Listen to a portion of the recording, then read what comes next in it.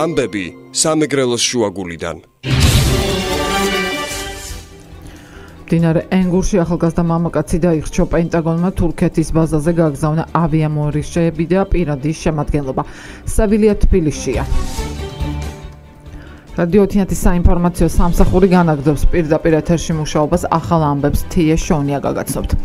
წარანჯიხის მუნიციპალიტეტის სოფელ ჭალეში უბედური შემთხვევა მოხდა. მდინარე ენგურში 42 წლის ახალგაზრდა მამაკაცი ადგილობრივი რაჯიშონია დაიხჩა როგორც თვითმხილველები აცხადებენ. ის მდინარის სანაპიროზე მეგობრებთან ერთად მივიდა დინარეში შევიდე და დინებამაც გაიტაცა ადგილზე იმყოფებოდა სამაგალოს ნამოსვენთის მხარის სამშობლო სამსახურის თანამშრომლები და ასევე საწრაფო სამედიცინო დახმარების ბრიგადა თუმცა ახალგაზრდა მამაკაცის გადარჩენა შეუძლებელი გახდა. მისი ცხედარი ქუთაისის ლევან სამხარაულის სახელობის სამედიცინო ექსპერტიზის ბიუროში გადაასვენეს საქართველოს ფეხბურთის ფედერაციის პრეზიდენტის ზვიად სიჭინავა არ გამორიცხავს რომ მომავალ არჩევნებში მონაწილეობა არ მიიღოს და ზუგდიდში დაბრუნდეს როგორც სიჭინავამ კვირის პალიტრისთვის მიცემულ ინტერვიუში თქვა ჯერ არ აქვს გადაწყვეტილი დარჩება თუ არა ფეხბურთში. დავრჩები თუ არა ფეხბურთში არ ვიცი, თურმე არაფერი გამიკეთებია ფეხბურთში და ფედერაცია იქნებოდა კლუბი, აქაც გავაფუჭეს საქმე ალბათ დაბრუნდები მშობლიურ ზუგდიდ, სადაც ბევრი რამეა გასაკეთებელი. როგორც სიჭინავა აღნიშნავს, იგი ფეხბურთის ფედერაციის პრეზიდენტის თანამდებობაზე მხარს დაუჭერს ნებისმიერ კანდიდატს, ვისაც სახელმწიფო 250 მილიონ ლარს ანდობს.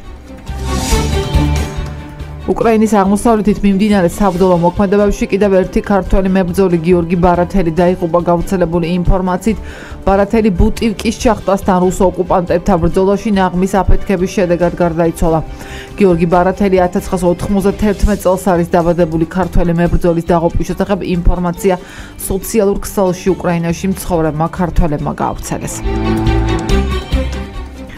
უსტავიორის წინამდებ დაწყებულ სამართლებრივ დავას მონიტორის არასამთავრობო ორგანიზაციები გაუწევენ. სამოქალაქო სექტორში აცხადებენ რომ მიმდინარე პროცესი ნაკლებად გავს კერძო მესაკუთრეებს შორის დავას და მის უკან პოლიტიკურ სარჩელს ხედავენ.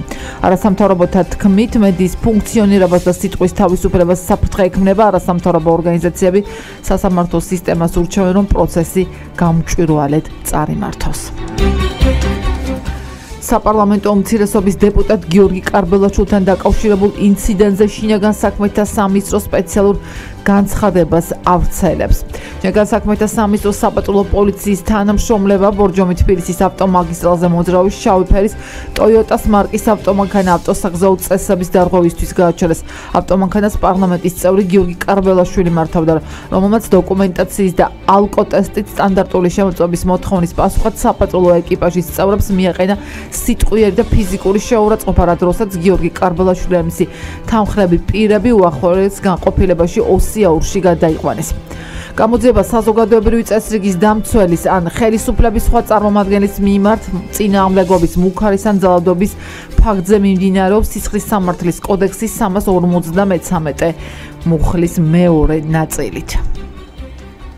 ამერიკის შეერთებულმა შტატებმა 6 ავიამერის F-16 გაგზავნა თურქეთში მდებარე ამერიკულ სამხედრო საჰაერო ბაზა ინჯერლიკზე იმისთვის რომ იქიდან ისლამური სახელმწიფოს წინამდე განახორციელოს იერიშები. ინჯერლიკი თურქეთის სამხრეთში სანაპიროსთან ახლოს მდებარეობს და მას ერთობლივად იყენებენ ამერიკის შეერთებული შტატების და თურქეთის სამხედრო საჰაერო ძალები. ინჯერლიკი ევროპაში ამერიკის შეერთებული შტატების ყველაზე აღმოსავლეთით მდებარე სამხედრო საჰაერო ბაზაა. პენტაგონის განცხადებაში აღნიშნული აღნიშნულია, რომ ვაშინგტონი თურქეთში გზავნის მცირე ესკადრილია სავიციო ფრთიდან, რომელიც ბაზირებულია იტალიაში, აივინოს ბაზაზე.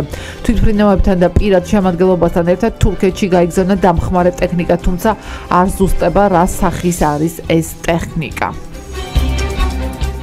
ევროპის სუპერთასის ფინალისტის საფეხბურთო კლუბის სევილიას ფეხბურთელები და გულშემატკივრები თბილისში იმყოფებიან. ისინი ჰოლიდეი ინში დაბინავდნენ რაც შეეხება ბარსელონას. მას თბილისში დღეს ელოდებიან სუპერთასის მატჩი. თბილისში ხვალ 11 საათზე დინამო არენაზე 21 საათზე გამართება 12 საათზე ახალი ამბები რადიო თინათის პირდაპირ ეთერში. თია შონია გაგაცანით დროებით